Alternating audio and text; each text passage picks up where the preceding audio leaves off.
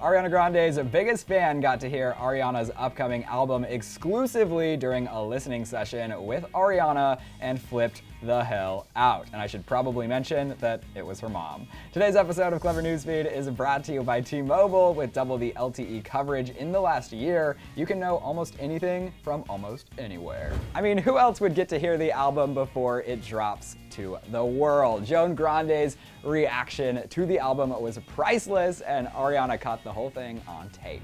Ariana treated Mama Grande to an exclusive sneak peek of Dangerous Woman during a car ride, and I think it's safe to say that she approved. She basically almost barfed from excitement. Check this out. Oh my god! Who's heard that? Has everyone heard that? No, no. Whoa!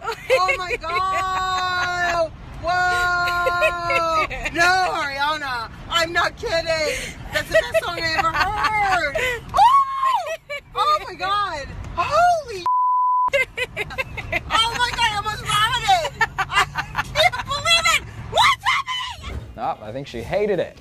Ariana sneakily recorded the whole thing and put it all on Instagram with a caption saying, quote, Mom's genuine reaction when I played her the album, hashtag one month till dangerous woman, hashtag love you mommy. She's actually going to murder me for reposting that, but it's the funniest I've ever seen. Sorry mama, love you. And in case you couldn't make all of that out, Joan said, quote, oh my God, who's heard that? Has everyone heard that version? Wow, oh my God, whoa.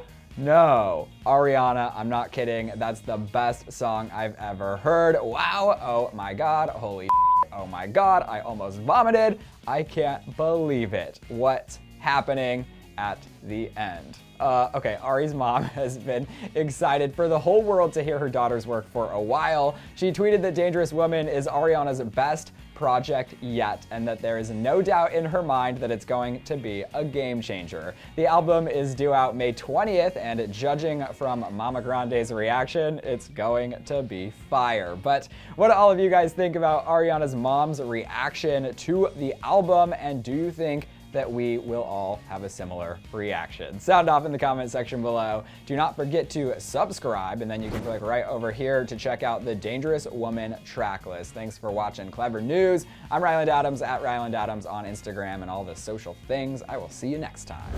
Click over to the left to see how Selena Gomez music videos were ranked over on Debatable, or click to the right to prep for Passover with some traditional Jewish meals on cheat day. Thanks again to T-Mobile for sponsoring this episode. Track what's trending wherever you go with double the LTE coverage.